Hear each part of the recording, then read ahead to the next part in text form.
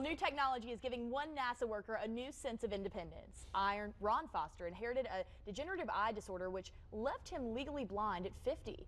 He says the Orcam lets him keep his passion for space alive without being bound to his desk.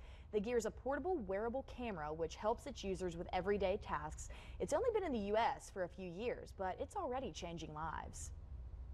And until they can transplant eyes, technology is going to be the only real solution for people that have uh, degenerative eye problems. Almost 8 million Americans are affected by a visual disability. Physicist Stephen Hawking says if we don't leave Earth in the next 100 years, we're going to die. But the good news is we may have a couple of places to go. Yeah, British astronomers have discovered two planets that could be ha habitable and potentially capable of human colonization. But don't pack your bags just yet.